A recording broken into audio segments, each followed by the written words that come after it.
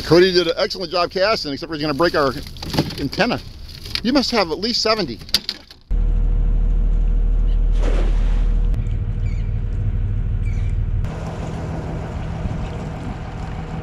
And how fast are we going to be able to throw it again? Well, we can just grab it, and if it's already untangled, you can pretty much grab that one third right away, put it here, grab that bottom line, and you can already start looking out for the bait for your next throw. Collect it, grab this, now we're gonna throw it again. Oh, there's more bait right there. And you're gonna throw the net forward with your right hand as you pull back with your left hand. And whenever you throw the net forward with your right hand, you wanna throw it straight forward, not to the right and not to the left. He looks to the net, he goes like this, reaches down, grabs it, puts this over his hand, just like I'm teaching you guys now. He grabs the net. He goes, I think I can get it open. Watch this. Throws it, catches a ton of mullet in deep water with a little five foot net. First time he ever threw a cast net. Hello everybody, this is Captain Cody with GlobalFishingReports.com. Today I'm going to be showing you guys how to throw a cast net. I have two cast nets here. I got an eight footer and a four footer. And I actually have another cast net laying over there. I'm going to show you the two easiest ways to throw any size cast net. Let's get to it. All right, from start to finish, I'm going to throw, show you how to throw a cast net. This is the thing that you place on your hand. This is actually nice because if you catch a really big fish, this will actually sort of pull off or slip off kind of easy, or probably just break if you get pulled in by a really big fish, or for some reason your line gets wrapped in the motor and you're gonna get pulled into the water. So I always place this on my right hand and then we're gonna collect the line. To collect the line, you just go, maybe not a full arm's length, just a partial arm's length and put this in your right hand and we're gonna collect all of the line. And that's important to just have a good starting point. So we're gonna collect all of that line and then once we collect the line, with the left hand we're gonna grab this horn and we're gonna pull the net straight, all the way straight out.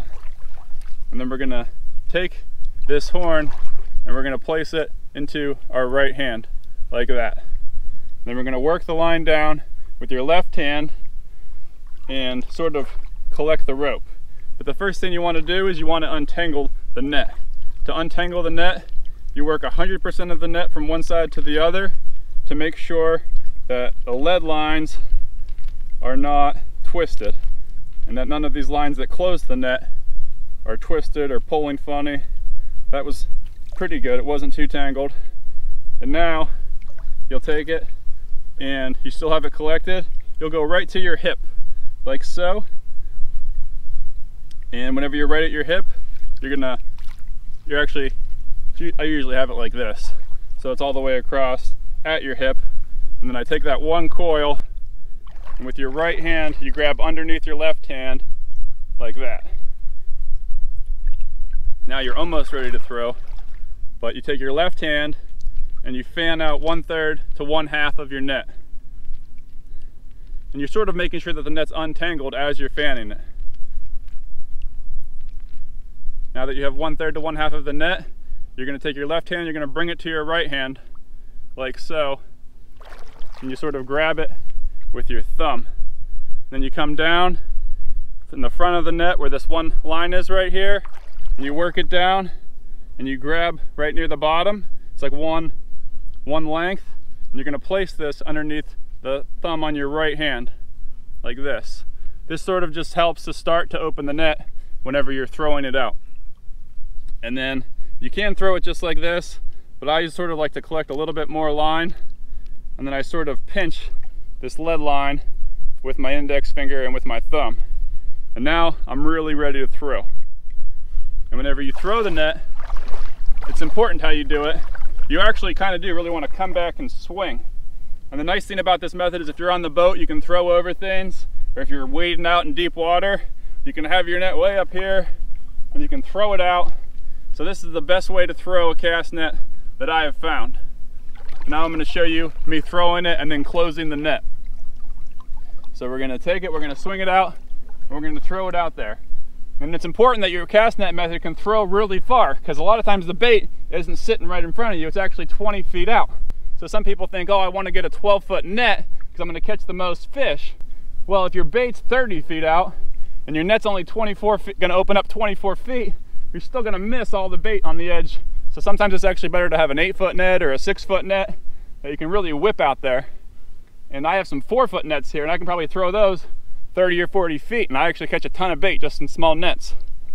But here we go, we're gonna throw this sucker. So we're gonna take it. That opened up pretty good.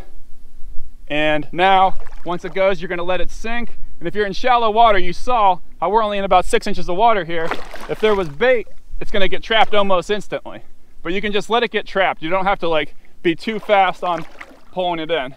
But you always sort of collect your line again, just like you're gonna throw it again, so you're ready to throw next time. So now you're collecting your line, and whenever you're gonna close the net, you do short little tugs to pull it. You don't just start yanking it too fast, because then the net is gonna pull off and some of the bait's gonna slide out. So you just do short little tugs to make that net close good. And once it's closed good, you just make sure it's closed, and then your bait is all gonna get collected in this part of the net here.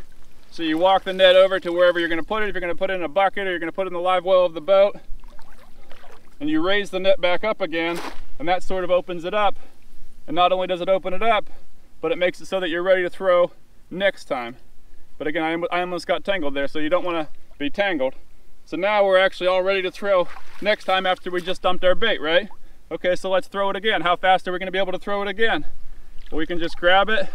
And if it's already untangled, you can pretty much grab that one third right away, put it here, grab that bottom line, and you can already start looking out for the bait for your next throw. Collect it, grab this, now we're gonna throw it again. Oh, there's more bait right there. Throw it again. See how fast we just got that, loaded again. It's one of the fastest methods to load to get those nice big openings every time. But whenever you throw the net, what you do is you swing back and you sort of fling this arm out and you're trying to get all of these weights to start spreading out. And once they're spreading out, you keep a hold of this hand and you pull back on it. And that helps open up the whole net. Now we're gonna watch that last throw in slow motion. So you swing the net back and you're gonna throw the net forward with your right hand as you pull back with your left hand. And whenever you throw the net forward with your right hand, you want to throw it straight forward, not to the right and not to the left.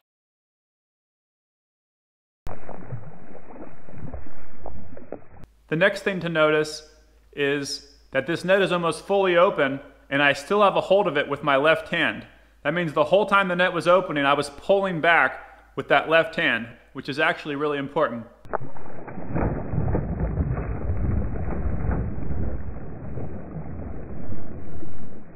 All right, when throwing a cast net with this method, a lot of people ask me, my net's not opening up all the way, what am I doing wrong? And the first thing I usually say is, are you making sure your net is 100% untangled? That's the main reason why whenever you throw, you think you have a pretty good throw, but it only opens up halfway, or it throws a banana, or it opens three quarters of the way. It's most likely because your net was tangled.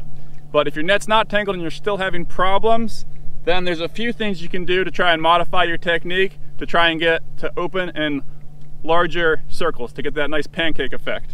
So we're gonna talk about a couple of those things. So the same thing we always do is we're gonna start just like we always do, and then you can decide how much net to collect depending on the size of your net. If you have a 12 foot net, you might wanna collect a lot more. If you got a four foot net, you might only need to collect a little bit. So you can, we're gonna try this time, we're just gonna collect a little bit. This is less than probably a third of our net. And then I'm always gonna do this step still. And then with this step, you can, if it's a small net, just try it like this, right? So we don't even have any more collected. And maybe that'll open up a little bit better. Let's try this method to see if we get it to open in a bigger circle.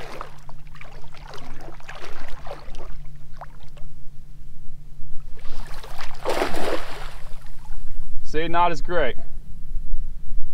Kind of opened up maybe three quarters. All right, let's try and modify how we're throwing it again, but this time we're gonna collect a whole bunch of the net.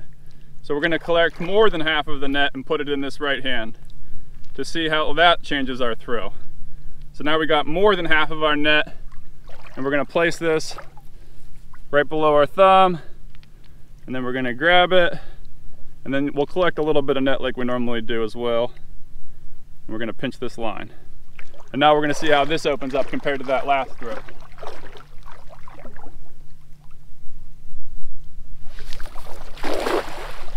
That actually opened up halfway decent. But it still isn't a full, full circle. All right, this time I'm actually gonna teach my dad how to throw this eight foot net using this first method that I showed you guys. So the first thing you do is you place that on your right hand. That's good, and then you wind up your line. So he's collecting his line.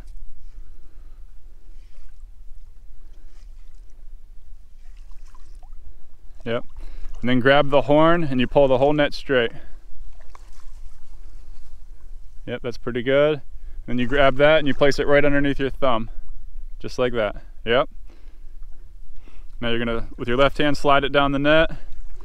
You go right to your hip, yep. And then coil it back. Yep. Yep, and place that, open up your thumb and you place, no, you don't twist it. You have your hand the other way. Yep. Place it like that underneath your hand. I think I was doing the camera. All right, and now you reach down and you fan out one third of your net. I actually, you, I'll show you. You pulled your hand this way. I always pull, sort of collect it like that with your hand open. All right, now you take this, you sort of twist it and you place it underneath your thumb. Yep, like that. Correct. Then you reach down and you grab that outside line Yep. Now you're going to place that underneath your thumb. Yep. Now you're almost ready to throw. Just grab that lead line. Yep. Whenever you throw, you're going to swing that right hand out far and pull back with the left hand. Nice throw. Oh, you gonna hit me? Ah! That was a good throw. The breaker almost got you. You did catch it. Whoa. That was good. That one was pretty good.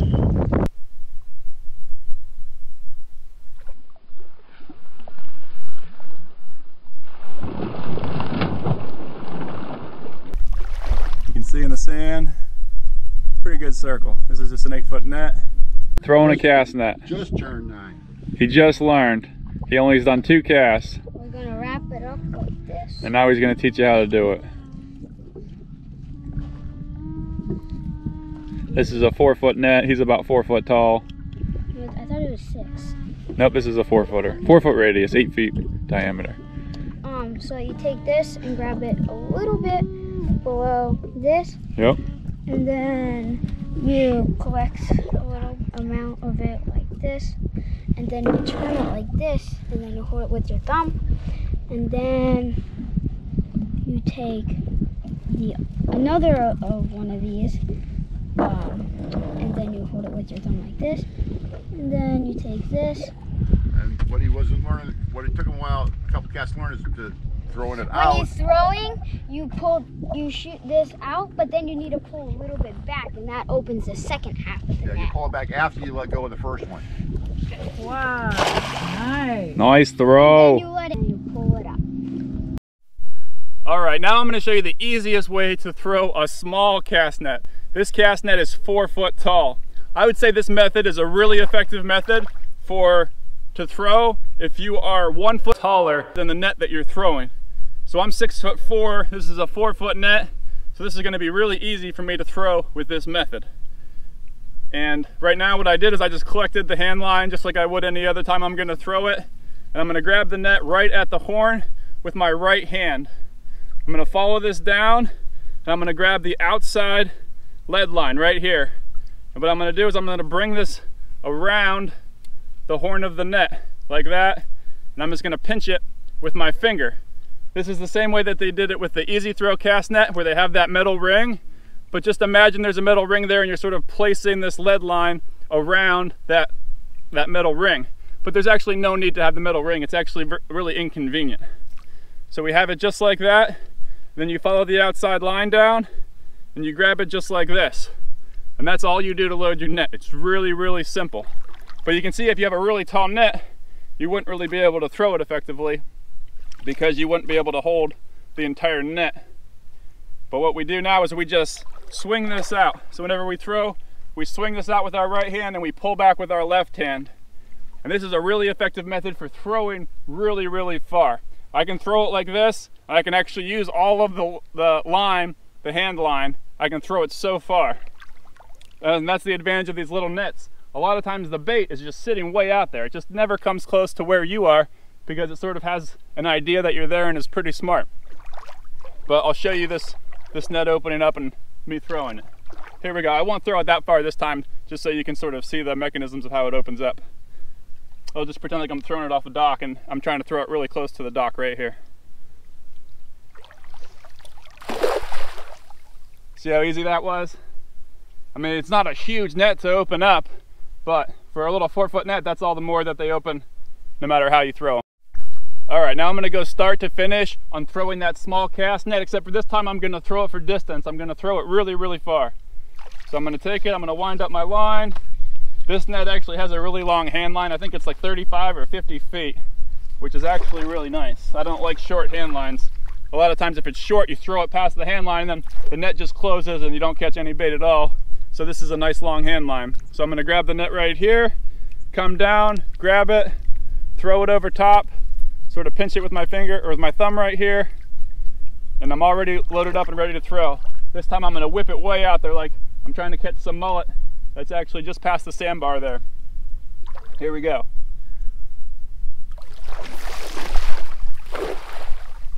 See how far I could throw that?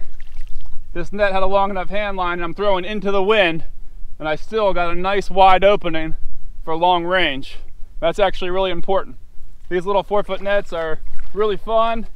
They're easy to throw and they're great for kids. And for kids, this is, I think it's a ghost shore net. It's got a long hand line and it just has the steel coated weights, which is nice because your lead's not hitting off the boat and hitting off of the dock. So for kids, this is a great little net and it's actually good for adults too. Whenever you got bait that's way out there and you don't want to catch you know a couple hundred pieces of bait you just need 20 pieces of bait. You can just get a little four foot net like this. This is the easy way to throw it. I'm gonna take it throw it right over our hand here. I'm gonna pretend like you're the bait. I'm not gonna throw it over the camera. I'm just gonna throw it near the camera. Gentle throw nice and easy that opened up perfect for a little four foot net and you don't have to struggle to throw a throw a cast net. That way is so easy. And actually, I used to brag to my best friend about how good I was at throwing nets. We were actually down in Texas and he had never thrown a cast net before. And he just grabs it. He looks to the net, he goes like this, reaches down, grabs it, puts this over his hand, just like I'm teaching you guys now. He grabs the net. He goes, I think I can get it open. Watch this. Throws it, catches a ton of mullet in deep water with a little five foot net. First time he ever threw a cast net. And he never lets me live it down either. All right, this cast net is a four foot, it's called an easy throw cast net or the easy throw method. And it actually has this ring on it. This ring's actually annoying, but the method itself is actually good and it's what I'm gonna show you on how to throw little cast nets. What you do is you grab the, the ring like this, you go straight down and you grab the outside lead line. And in this case, you actually place the lead around this ring like so. And now you're actually ready to throw. You grab this lead line right here and you're ready to go.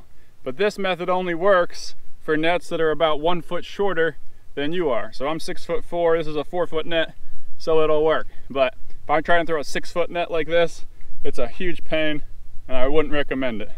But I'll show you the method just so you guys know how it works. And if you see these, you'll know the mechanism behind them. I wouldn't recommend buying the ring just because it's just kind of doesn't splash as well and sinks a little bit slower. And there's no need to. You can just place the line over top and grab it the same way without using the actual ring. But it is an easy method to throw. You just take it and sort of throw it out. I'll do it one more time because it didn't open very good.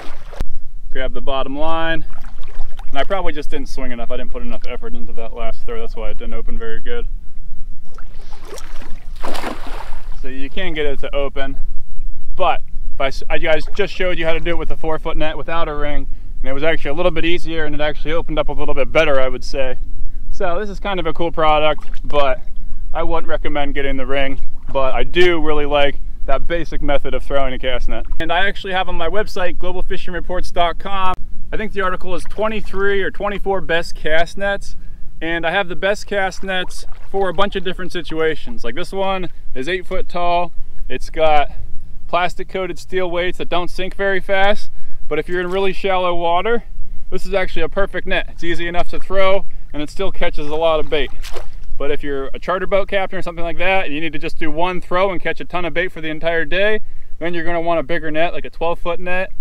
And if you're in deep water, you're trying to catch mullet or pilchards or something in water that's more than four feet deep, you're gonna wanna get at least one pound of lead per radius foot. And you're gonna wanna get a net that's minimum of eight foot or bigger, eight to 12 foot. It's just a little bit more work to throw the bigger nets and you can't necessarily throw them as far so it's not always an advantage to have a big net. So this is 3 8 inch mesh which is good for bait that is two inches or bigger. If it's smaller than two inches it's going to just slip through the cracks or their head's going to get stuck in there like a gill net and they're going to die. This 3 8 inch mesh is for pilchards. That's probably the number one thing it's used for but it also catches all the bigger baits too if you're in shallow water. And for mullet or something they actually get mesh sizes that it's about an inch or a bigger square size. The diagonal length is a little bit longer, but you'll use those for going deep for really big bunker or mullet.